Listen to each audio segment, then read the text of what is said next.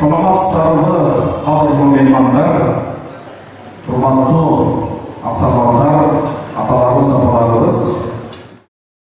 Буга чейин мамлекеттик салык кызматы Бишкек шаарындагы ресторандардагы салтанаттуу иш-чараларды, тактап айтканда той топурда кызмат кылган тамада, музыкант, фотографтардын элге болгон кызматы мыйзамдуу деген жүйө менен текшерүүгө алышкан. Текшерүү бирок той той учуруна байланыштуу болгондуктан тамадалар патентин көрсөтө алган эмес. Бул туурасында Майрамбек Осмонов буларга токтолду. үчүн булар бир мекемеде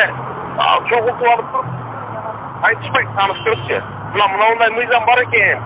ар кимге ар кайсы жерде мага лөлүк окшоп аркасынан барып кайрылчыларга окшоп барып алыстан жанына келе албай келип тартып тартып анан биз эскерттик деп мага эч ким эскерткен жок эскерттим деген салыкты менин бетиме келип айтып экен Ал эми бул туурасында мамлекеттик салык кызматына кайрылганыбызда алар буга чейин эле чыгармачылык жаатында жүргөн ишкерлерге салык жөнүндө эскертип келгенин айтат. билбедик деп атпайбы алар көбү. А, биз деген ассоциация тамадаларын жолуктук А, биз ошолордун өкүлчүлөрү менен ушу канча жылдан бери эле жолугуп жүрөбүз айтып жүрөбүз э, мындай суммасы мынча экен бул районго мынча төлөш керек э, деп биз түшүндүрүү иштерин жүргүзгөнбүз. Бирок э, көбү м, айтсак болот муну туура кабыл алышты ал эми мындай алардын арасында бар экен булар мындай такыр мындай кабыл алууга жатпагандар дагы бар экен биз деген мындай элдин адамдыгы болгондон кийин эмнеге салык төлөйбүз деген көз караш менен көбүбүздү принципиалдуу салыктарын төлөбөй жүргөндөргө Бул туурасында чыгармачылык инсандар мамлекетке салык төлөөдөн баш тартпаарын айтып, бирок ошол эле учурда мамлекет тараптан эч кандай көңүл бурулбай жатканына нааразы экенин билдирип, шарт түзүп берүүсүн талап кылышууда. бизден салык ала турган болсо э, патент ала турган болсо анда биздин бир айда эки жолу денсаулыгыбызды каратып анан бизге той таап берип турушсун рекламабызды берип милдеттүү түрдө мынау тамада мынандай тиги тамада мындай деп жанагы беш жүз сомдук эки жарым миң сомдук төлөй турган э, айып пулдарын биз ошол эмгегибизге жараша той алып барганыбызга жараша бизге э, таап берсин анан булар такыр эле мамлекет качаңдап ошол ырчылардын эле салыгы менен бизден мамлекет алдыга жүрүп кетет деген ишеними болсо ошону менен эле укмуш болуп мамлекет байып атса эгер мыйзам кабыл алган болсо биз андан качпайбыз Шоу тармагында жүргөн жарандарыбыздын чыгармаларына мониторинг жүргүзүп келген Тынчтыкбек Кожобековдун айтымында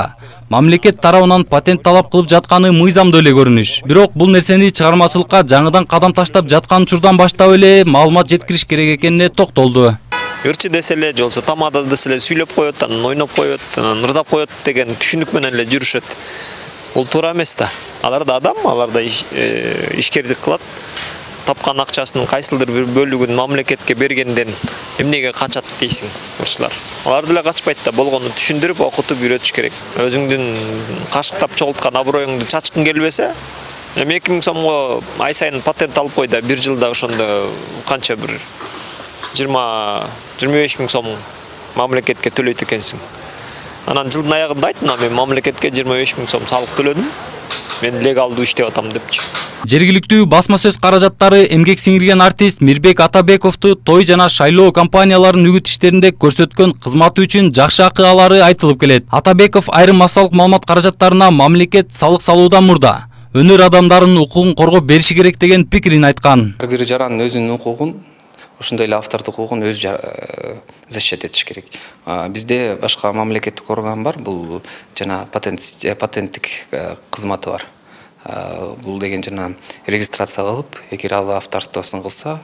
барып э, сотко берип өзү мисалы үчүн башка базардан көрөбү а, мисалы үчүн же башка жерден көрсө өзүнүн укугун тебелеп жаткандыгы ал сотко берсе өзүнүн укугу болот бул салык жаатына эч кандай маселе жаралбаш керек. Негизинен чыгармачылык адамдардын кирешеси акыркы убакта той топур менен эле чектелгени баарыбызга эле маалым. Ошондуктан патент төлөө маселеси жумуш жок учурунда токтотуп коюуга мыйзам жол берет. Эскерте кетсек, салтанаттуу иш-чараларда кызмат көрсөтүүнүн бир айлык салыгы 500 сомдон 2,5 миң сомду түзөт.